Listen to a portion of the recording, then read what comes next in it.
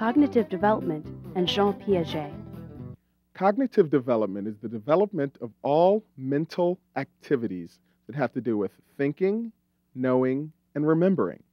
Another psychology all star, Jean Piaget, studied human cognitive development and he worked up a theory based on his belief that intellectual development occurs as humans struggle to make sense of the world. Did I create this? It makes no sense at all. Piaget thinks both nature and nurture are important. According to Piaget, the physical brain structure controls behavior, but that basic structure expands and adjusts through experience. In order to make sense of the world, humans form concepts I call schemas. Schemas are organized sets of actions, like the set of actions you follow to make your bed or tie your shoe. You learn a new way to make your bed or tie your shoe, you have to change your existing schema, or the existing set of actions you use. According to my theory, you rework your existing schemas in two ways assimilation and accommodation. Assimilation is fitting new information into the framework of what you already know. It's like taking in new experiences and making sense of them based on old experiences. If little Susie knows that a cow is a big, hairy, four legged animal, she may see a horse or a donkey and call it a cow. Cow! Cow! She is using the information she already has to make sense of the new things she is exposed to.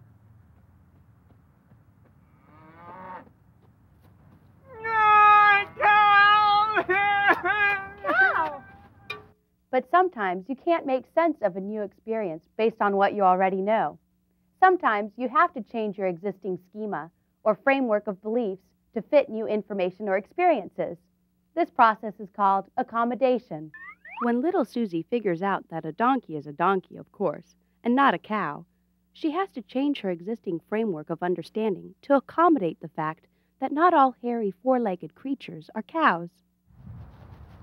Donkey!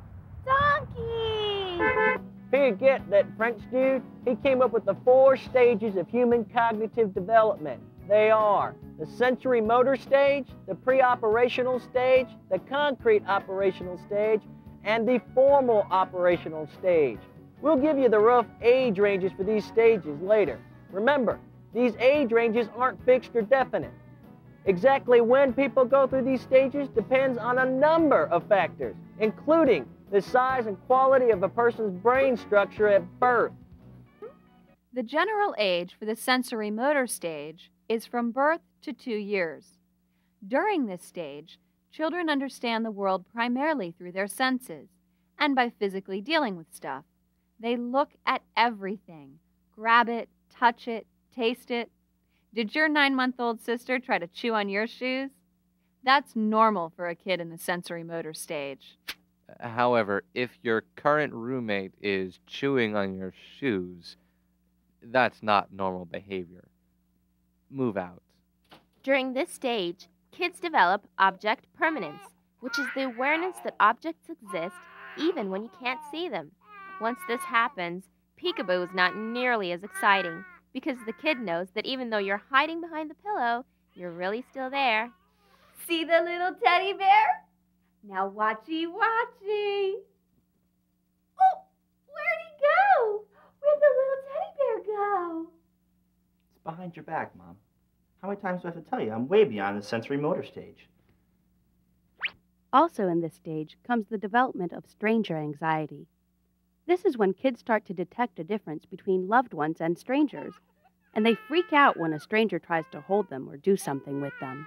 When kids are between the ages of about two and six, they are in Piaget's pre operational stage.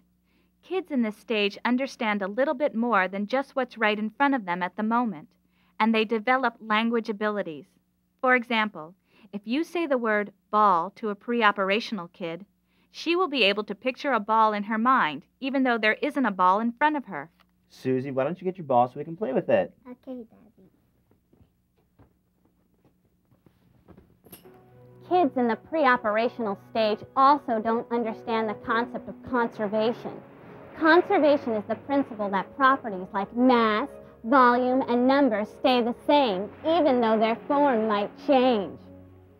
For example, if you show a kid in the pre operational stage these two identical closed beakers of milk, then you turn one upside down and ask if there's more liquid in the beaker on the left or on the beaker on the right, she would probably tell you there's more liquid in the beaker on the right because to her it looks like there's more, even though she just saw that there's the same amount of milk in each beaker. Somewhere around 7 to 11 years old, kids are in the concrete operational stage. I'm in the concrete operational stage. Yeah! During the concrete operational stage, children learn to think logically in situations that aren't abstract. They get the idea of conservation, and they can learn to do math. For instance, the concrete operational kid can figure out that one 4 inch piece of cake is the same amount as two 2 inch pieces of cake. You are in the formal operational stage, or at least we assume that you are, and you have been since you were 12 or so. In the formal operational stage, you can do abstract reasoning, figure out the consequences of actions and events, and think about moral issues. So, according to Jean Piaget, humans make sense of the world by forming organized sets of actions he called schemas.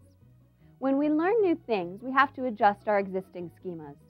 We do this through assimilation, which is fitting new information into our existing schema, and accommodation, which is changing our schema to fit the new information.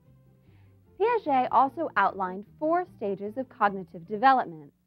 They are the sensory motor stage, when children understand the world primarily through their senses, the pre-operational stage, when children develop language and object permanence, the concrete operational stage, when kids learn to think logically, do math, and they grasp the concept of conservation. And after age 12 or so, they enter the formal operational stage, when they can do abstract reasoning, figure out consequences, and think about moral issues.